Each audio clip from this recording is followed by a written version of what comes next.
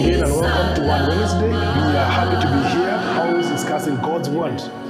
thank you so much again for tuning in. We are glad that you are actually uh, again following us.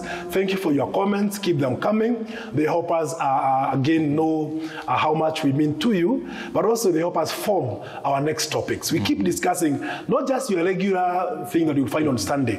We look at the interesting texts. When we have um, leadership lessons, we decided not to look at the people that are obviously leaders and people talk about them. We took Peter who I think in, um, you know, in many ways, people don't consider him a leader and people don't remember his strengths and sometimes he's judged very harshly. But again, we have gone episode after episode looking at the life of Peter, and we are trying our best today to conclude. if we don't, we continue because we want to make sure yeah. we, we are able to talk about Peter mm. again uh, in the best way possible. We glean as much as we can get from his life. Again, we are here with Reverend Fode discussing this. Uh, welcome. Yeah. Yeah, and uh, um, we, we we look at Peter now. Um, Jesus has has is, has died, right? And uh, the women have come with a report uh, that he is risen, Nah. right? He is risen. I mean, the first thing that uh, Peter and crew do is uh, dismiss them. Uh, say, I mean, what's going on? Until the women said, "Come and see," you know. Um, and Peter actually runs to the tomb. Uh, again, uh, we find uh, uh, a continuing moment there where they didn't, this idea of Jesus rising from the dead did not quite register well. Yeah. You know, it didn't register well um, uh, among the disciples. Yeah. It didn't register well because they all seem to be doubtful. They all seem to be like they're not believing this. And Jesus, I mean, Peter goes in and uh, finds that actually, you know, it's true that, uh, uh, that, that, that, that Jesus is not where you know they had they had laid him. Uh, and uh, but I want to say uh, because the resurrection, even to this day, which to me is the most powerful the most the, the most differentiating aspect uh, in terms of the Christian faith and other faiths, uh, we still treat it in an abstract way. Uh, we don't quite bring it to our day-to-day lives. We seem to forget that, um, and it seems still abstract as if it's a future event uh, that maybe cannot be applied in our day-to-day lives.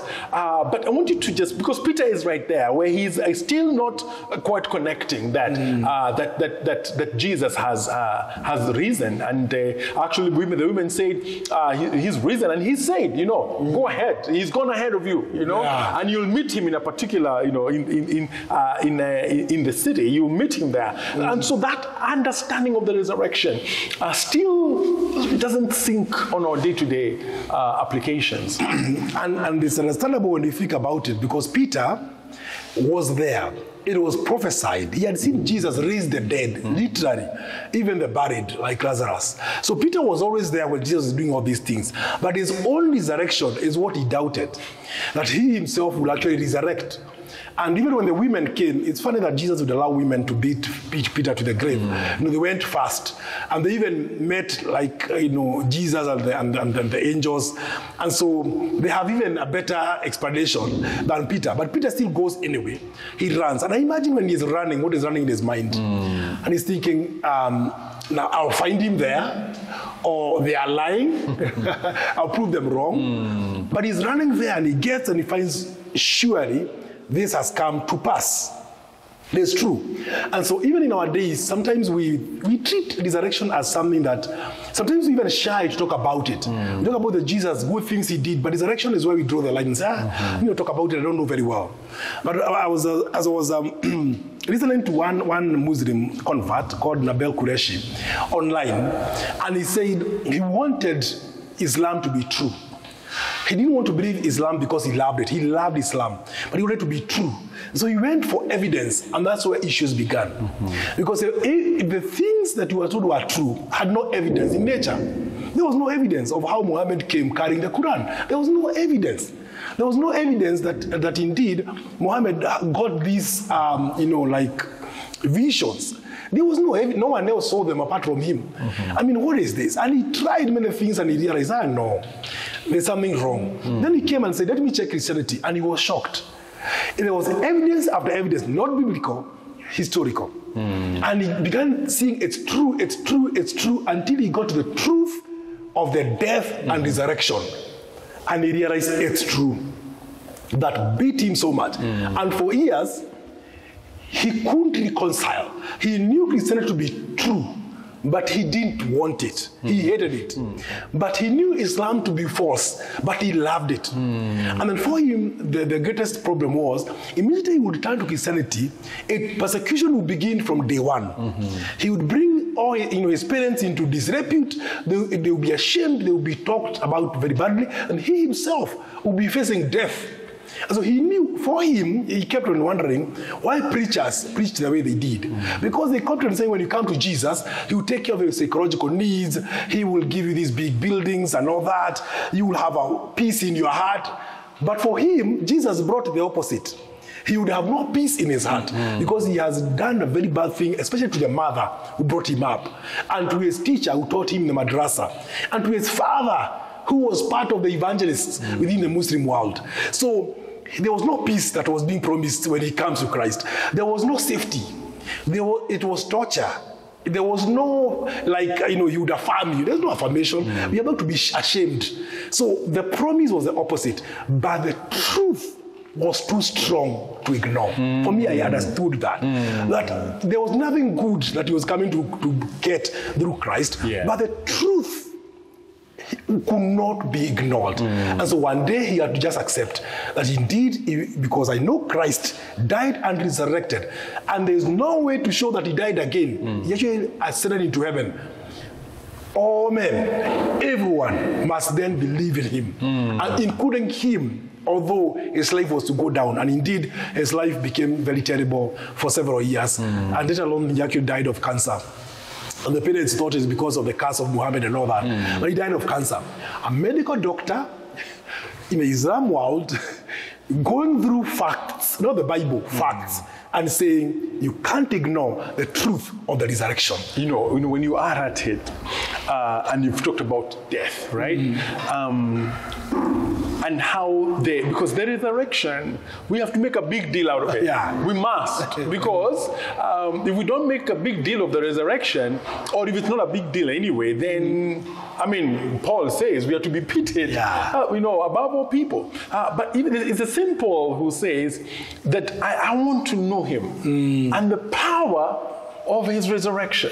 So you can tell that there is something here that, uh, uh, that, that, that sometimes maybe we don't grasp as well. But Yeah. we want um, uh, uh, even all of us, even our viewers, to really take the resurrection seriously. It's not an abstract event. It's a historical event. Mm. It's a historical event.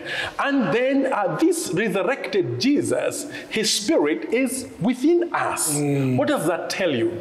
It tells you that you are bold, mm. that anything that would bring death, anything that would bring destruction, you know, you are bold. What the resurrection spirit should do is give you an, a hope that doesn't die, isn't it? Yeah. A hope that doesn't Yeah. die, that in every circumstance you're hopeful. Not positive thinking like, but you're hopeful because Christ Jesus. Um, is in you. That the- and he is alive in you like alive. And so even the most threatening of circumstances there is no more walking from a distance like peter did. There's no walking at a distance. It's we are frontliners. We are frontliners. When people look back when people want to walk at a distance we are frontliners. When people are hopeless we are the hope givers. And we're not just giving pep talks to people. We are just telling people it's just a matter of time. You will see god at work here. In this circumstance no matter how dire it may look you will see uh, a life coming into this circumstance. And i'm not pretending. I'm not just saying things. It is a fact you shall see life because even death mm, mm. where is your sting That, I mean, death has lost its power. Mm-hmm. Not power, resurrection power. There's no greater power than that. Mm. There's no greater power. And when Christ breathes that resurrection upon anyone, anything dead must resurrect. Mm-hmm. It's not that. I mean, it's not that you, when, when he breathes, then some things are trying to organize themselves, wondering, do we resurrect or Yeah, not? yeah. Are we part of the resurrection? No, we must resurrect. And it's not just within us, but even in our circumstance. I- I've had people talk about, uh, say, Christians are becoming too hopeful and all that. Our hope is not positive thinking. Exactly. It is based on reality. Mm. Like if, like the way uh, I was at MC on Saturday. I've never been one, but um, I, I went to the kitchen and saw that food was ready. Mm. So when I came, I announced, and I know there is food. So don't leave. I was not saying it because I think in such events there should be food. Mm. I had seen food, and it was enough for everyone. Mm. So I already it was built on a fact. My hope that we will eat it was on a fact. Mm. We have seen the resurrection. We shall resurrect. That even you know after we die, we shall resurrect because we have seen it in action. There is no situation that is not hopeful. There is no situation that is beyond control. Even at that point, we are hopeful. Hmm. I've talked about my friend Nabil Qureshi. When he was dying of cancer, he would talk in his bed hmm. and say, I am comfortable. Hmm. In, I'm getting into the hands of the one who saved me.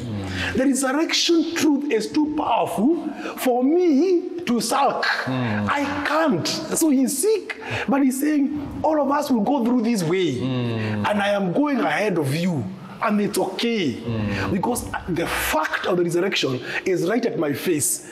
And therefore, it makes my troubles even less. You know, I'm thinking that uh, uh, when the resurrection bug catches you, you become so hopeful. Yeah.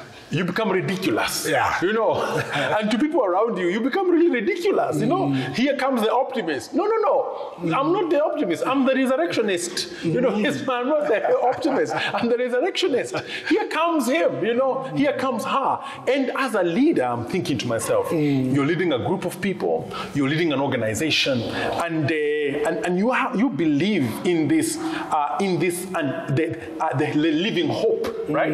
Uh, and I, as a leader, then you become one who really inspires your team. That's the thing. Uh, because you're not cheering them on, you're not giving them pep talks. No, you are actually giving them a real hope. You know that God is with us, and because God is with us, it's going to be okay. Whether we win or we we lose, at some point there shall be a testimony of victory for all of us. You know, so it is it is also uh, this reality of the resurrection applies across, uh, and especially for a leader, it is so important uh, that you uh, that you have this uh, resurrectionist spirit, uh, because there are many situations you're going to face. You lead all kinds of people, and this hope helps you a lot in your leadership. You know, uh, uh, uh, uh, Pastor David, you know, Peter, um, the women are told by, by Jesus, uh, go tell the disciples and Peter. Mm. The last encounter mm. that Peter had with Jesus was not nice. That was it was nasty. it was nasty.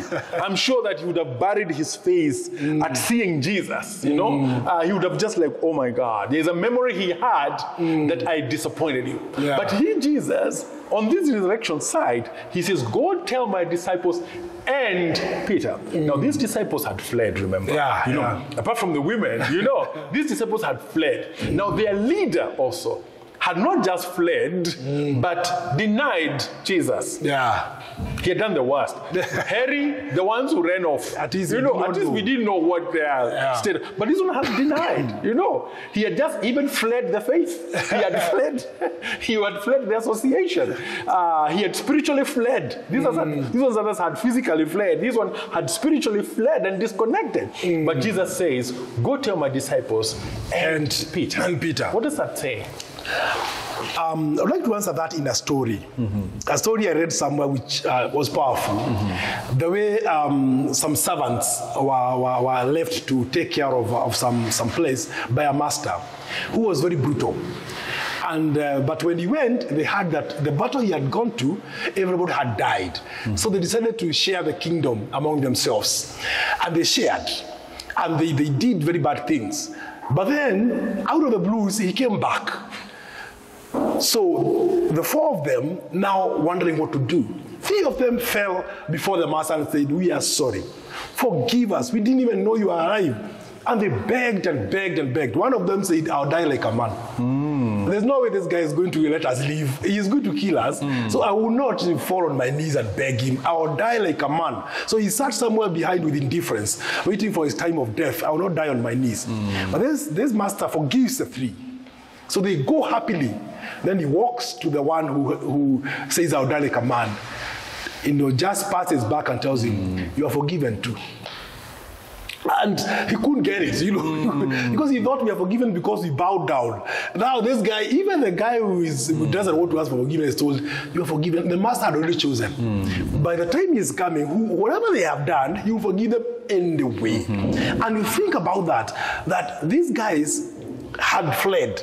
Peter had denied, but Jesus had decided in his heart, I'll forgive them. Mm. They are mine. And I'm, I'm, I'm here to make sure that they will have eternal life. Mm. And this is the team I chose. He is there for the team. And I'm sure the way they felt within them, that Jesus still cared for them, mm. that he will come to see them after fleeing. Uh, I'm sure they might have felt indebted so much. And um, trying to move forward is something I was thinking. Eh? The difference between Peter, who before a woman couldn't, uh, in, uh, you know, say, "I know Jesus," and the Peter at Pentecost. that transformation is, cannot be explained biologically. Mm-hmm. You can't explain economically, say he got money. I mean, how do you explain that, Peter? Who people say you are drunk. Mm. Then he says, wait a minute. Drunk. Mm. And these are not few people, these are not people on a fire, thousands. In an empire where Jesus was killed, this is the same people who killed Jesus. The same crowd would have said these drunk guys during the day killed them. Peter stands and preaches a long sermon. Mm. Looking at uh, the way the, the text is written, it must have been a very long sermon. Mm. And as he preaches with boldness, he did not call an. An- The oracle called itself. They asked themselves, What ought we to do? Hmm. They were pricked in their hearts hmm. and asked, What ought we to do? Look at Peter. The power of resurrection hmm. was at work in Peter. And Peter was no longer the same again. There's no way that power of resurrection can work in you and you continue being the coward you are. You continue being the person you were before, the one who deny and the one in denial, the one in doubt. No, there's no hmm. denial, there's hmm. no doubt. When the power of resurrection comes, then you become that Peter hmm. and boldly say, you know, you are announcing to everyone Yeah. that the Jesus who you crucified, mm-hmm. now God has made him both Lord and Savior. I mean, that was the statement for Peter, the Jesus. Now, before people, I mean, he's saying it before people. He's now not saying, you know, like I don't know him. he is saying that Jesus Yeah. you crucified, God has made him both Lord and Savior. and it's amazing, you know, the way he is converted.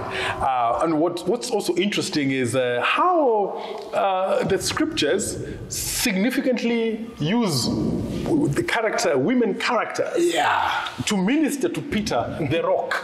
You know, uh, and of course, the cultural aspect of that time, you wouldn't have expected that, uh, you know, the, the, the women to be uh, the, the, the, the, the, the ones giving Peter his rock status. You know, because his rock status had to come from both weakness and also uh, strength at the same time. And we find that there's a woman at, uh, at, the, at the cross, as we were looking at the other, the other time, but there's also the woman now coming from the empty tomb. Yeah. You know, and uh, and these are uh, the, the Peter cannot separate his strength. You know, cannot separate his movement from the role of these women uh, going forward. And then we see also, which is something that uh, is you know is very important, that Peter um, in the after the resurrection of Jesus Christ, he struggles with inclusion. You know, he himself has been included.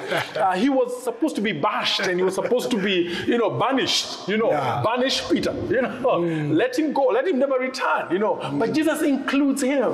But when it comes to the his dealing with Paul, he's dealing with the Gentiles. He, he seems to be like he still wants. He's caught in between. He's still not as inclusive as he should be. Dealing with Cornelius, he's saying, "Oh no, no, no. Uh, we Jews don't deal, you know, with that kind of." Uh, and he has a vision is coming like three times, you know, uh, for him to be able to understand that uh, the same inclusion that he was given at, you know, at upon the resurrection of Jesus Christ. Go tell my disciples and the fallen Peter, you know, uh, he is now being called also to be an agent of inclusion, to include Cornelius, to include the Gentiles, to include all these people, uh, and that's very important because once you have been included, then there is no reason why, you know, you should now be a person who excludes others or judges others or tells others that you you are too far away from the grace, you know, uh, you are too removed from grace. You can't. I mean, once included, then you also become an agent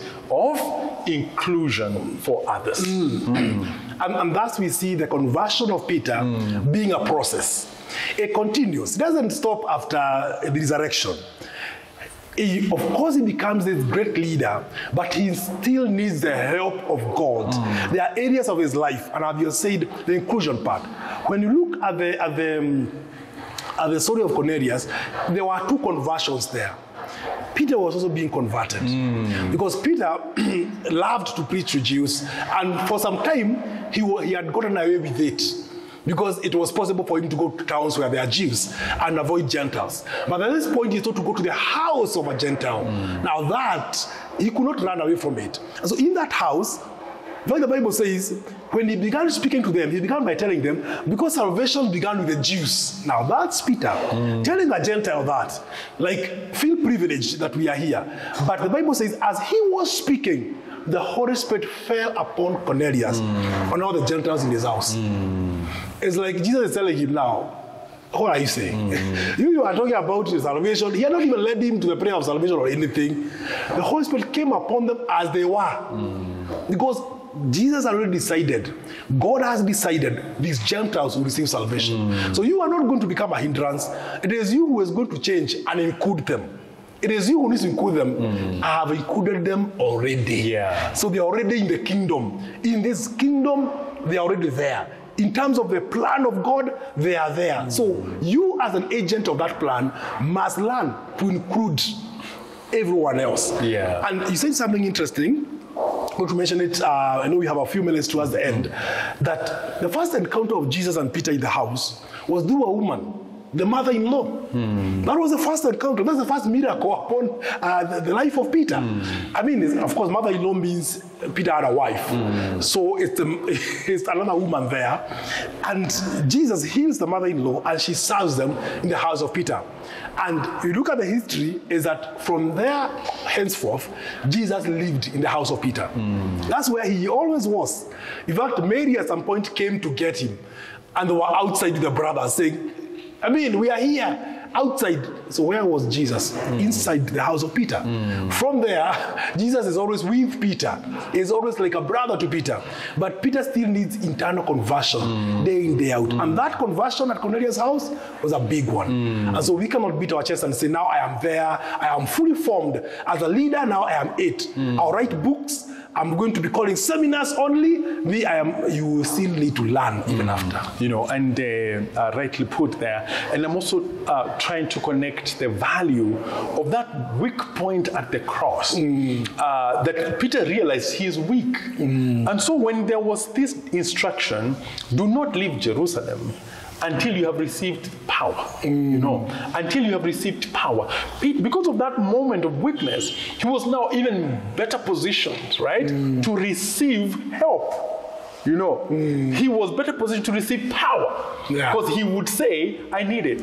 Yeah. You know, I need it. And so moments of weakness sometimes set us up, you know, for us to receive power, to have new chapters of strength. Uh, and uh, especially if we work around them uh, with the spirit of accepting that I need help, right? Uh, and uh, of course, Peter progresses and uh, he's a, he's, he shows great leadership. Uh, but uh, he seems to also be critiqued, you know, by, uh, by, by, by Paul at some mm. point because he's one guy by the day, mm. one guy by the night. Mm. And he's, he's, Paul calls him out, calls him out and tells him, please make a stand. You know, you cannot be saying we are for the Gentiles, you know, during the day, and then at night you're saying, no, no, no, no, Jews need to, I mean, Gentiles need to get into Jewish ways. And we find uh, a flip flopping there uh, in terms of uh, his leadership, right? Can you just maybe explain to us that crisis? Um, again, I see Peter as a product of a culture. He's a product of a culture. And that culture has formed him all through his life. And there's a conflict within him because of that culture. Mm-hmm. And so he's at that point where the culture is too strong that he still needs to feel like he is following it. Mm. And in doing that, Paul is telling him, you are adding some law into salvation that was not there in the beginning. Mm. You, are, you are adding handles. You are actually telling the Gentiles they need this before they become. So, what you are doing is you are actually working against the gospel you are preaching if you behave this way. And sometimes we find ourselves, our words and our actions are not married. So, our words are good, but when you are found at night, what you are doing is different. And he needed someone to confront him. And remember, uh, Paul is a late comer to salvation. He's not being confronted by the big apostle. No. Paul had just come to salvation. So Peter was, would write and say, I used to be with Jesus. Who are you? What are you telling me? I used to be with Jesus. You, you are the gen, you, you used to be a kafiri. You know, you used to be out there killing Christians. You have just come and you think you can now come and talk to the apostle. But at that point, Peter still listens to that instruction because there will still be a conflict within us that need to be settled. We need to be rebuked and accept rebuke. We also need to continue asking the Lord to transform us. But as long as we are on this side of earth, there are some weaknesses, but they're not bad. It is at that point where Jesus comes in to change us. Yeah. And so I would say Peter was struggling with the culture. We still struggle with it even today. Uh, we still ask questions about people. Uh, we still feel like we don't want to associate with certain people because of how maybe uh, they're different from us, although they are Christians, but we feel no, no, no. Or maybe even preach to some people. We feel like we shouldn't.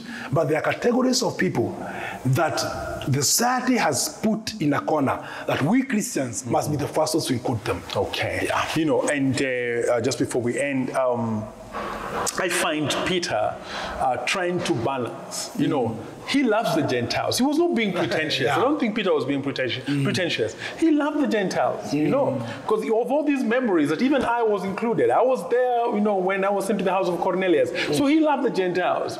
But there were the Jews also, his people. And uh, his peoples had issues. They had not really embraced the Gentiles as much. So he had to be play politics. Yeah, you know? with it, yeah. I mean, As a leader. uh, as a leader, he was he was playing politics like many people many people would do when they, you are trying to lead many people, and uh, uh, and these people have their facts. These people have their facts. As a leader, sometimes you find yourself playing uh, politics and trying to balance things out. And uh, the good thing is that we have pointers like Paul who tell us you know, just state the truth. You know, please come out clearly, you know, about what you were doing. And I would say that uh, uh, even in the midst of his weakness, it's a journey.